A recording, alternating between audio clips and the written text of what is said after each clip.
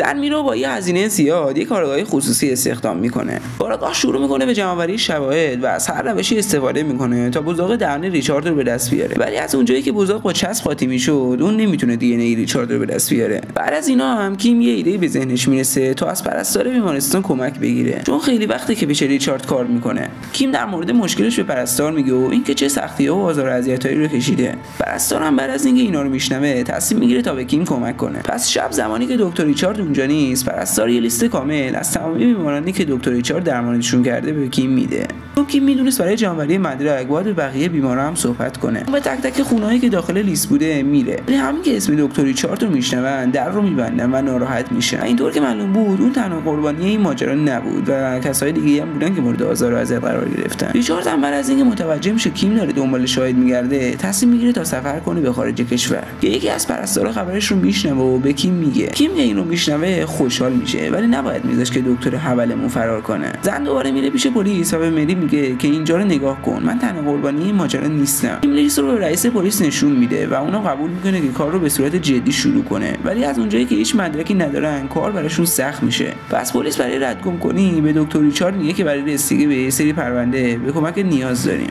و کیم و پلیس هم هر دو از پشت شیشه اونو زیر نظر دارن. دکتر ریچارد زیر نظر پلیس بهشون خون میده و این دفعه هم مثل دفعه قبل خون دکتر و زن هم مطابقت نداره. زن از دیدن قیافه دکتر ریچارد عصبانی میشه و به این شک می‌کنه که شاید نتایج آزمایش دستکاری شده باشن و شاید دو نوع خون متفاوت وجود داشته باشه.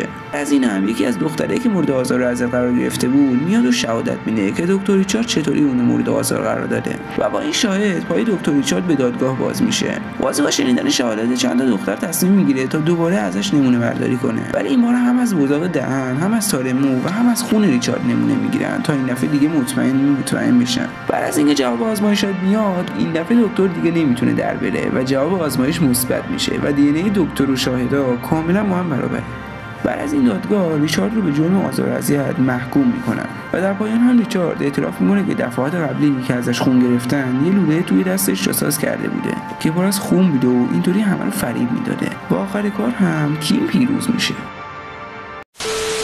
خب دوستان امیدوارم که از این فیلم لذت برده باشید و نظراتتون رو حتما برام کامنت کنید. و برای ویدیوهای بیشترم حتما کانال رو subscribe کنید و تا یه ویدیوی دیگه خدافظ